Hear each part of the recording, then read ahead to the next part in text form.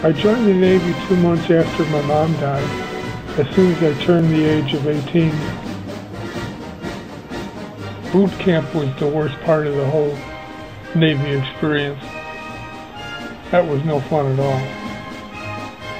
But I found out that I got assigned to an aircraft carrier, the USS Constellation.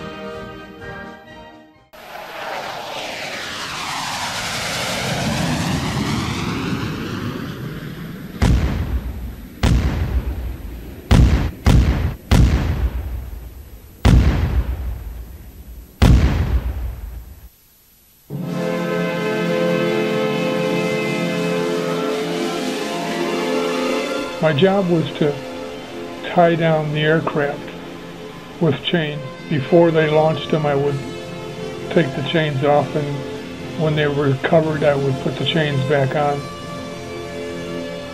That was a terrifying experience. It was the first time I had ever been on the flight deck of an aircraft carrier.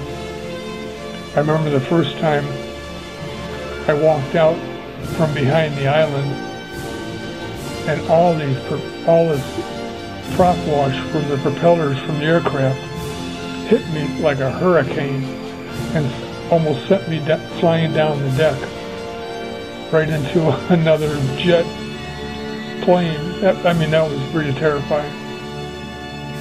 After about two months, they transferred me to catapult number one. That was at the front of the ship. It was a lot better up there. They didn't have all the planes all around. All you had to do was contend with the one plane that you were working on. My job was to get underneath the, the aircraft on the catapult and hook up the plane with big cables to the catapult. And then our ship went on a cruise to the Orient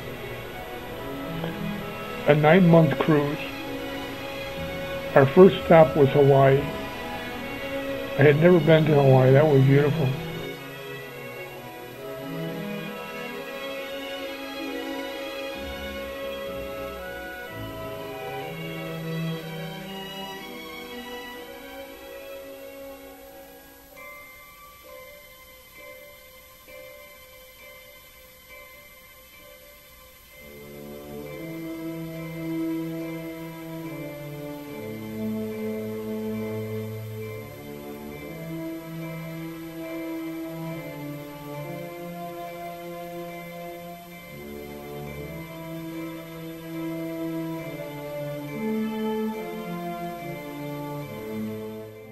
And then our next stop was the Philippines.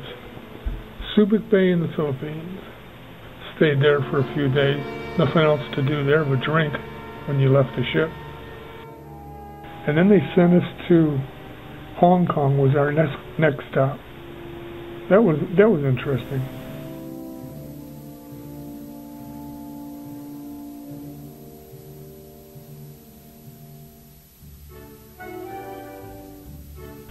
We were throwing coins in the water, and the, and the little boys in the sampan would uh, dive in the water after them.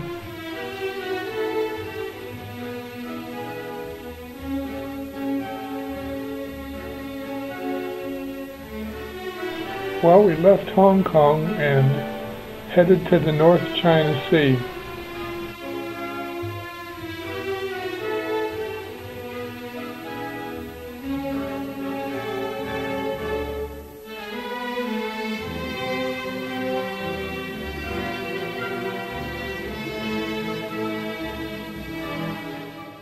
That's the coast of Vietnam. When we got into the Gulf of Tonkin in August of 1964, they started loading up the, all the planes with uh, bombs. This was the first time they had done that. And from then on, every launch, the, the planes were fully loaded with bombs and rockets. And it continued that way for the rest of the cruise.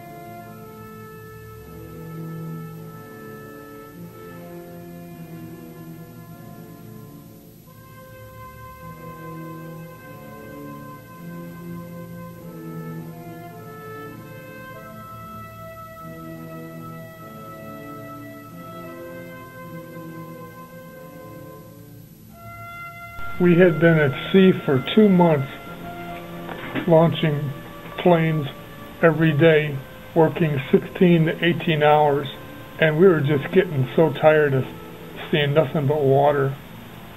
To boost our morale, they had a barbecue on the flight deck one day. We were so glad to see that aircraft carrier off in the distance. We knew we were going to be relieved and we were going to start heading home. But first we were going to stop off in Yokosuka, Japan. That's me and my crew sitting around in the bar in Yokosuka, Japan. That was fun. Good times.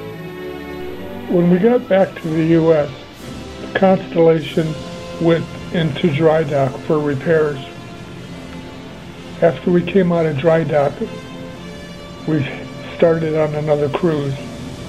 I only had two months left to, to go in the Navy before I was discharged. Halfway to Hawaii, a plane just like the one you see me sitting on there, an A4, ran over my leg and crushed it. I spent the next six months in the hospital. After the pain started to go away, it wasn't so bad uh, laying around in the hospital in Hawaii. In fact, I even met a girl there. She'd come to visit me all the time. She was pretty nice. I wonder whatever happened to her. Well, I had to stay four months past my discharge date. But I finally got out of the service. Yay!